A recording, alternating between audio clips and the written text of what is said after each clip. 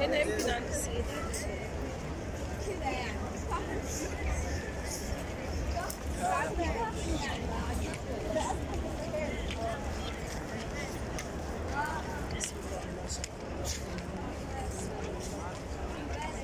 صلي صلي على النبي صلي اللهم صل على